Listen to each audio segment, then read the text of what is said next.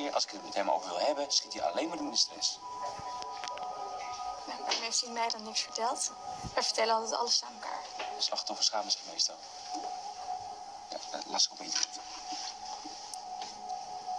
Ja, het begint klein. Het wordt steeds erger. Je wil niet weten hoeveel er uiteindelijk in het ziekenhuis belanden. Oké, wat wil je dat ik doe? Nou, ik denk dat hij tegen jou eerlijker is dan tegen mij. Het zou al heel wat zijn als hij überhaupt toegeeft. Ik ga met hem praten.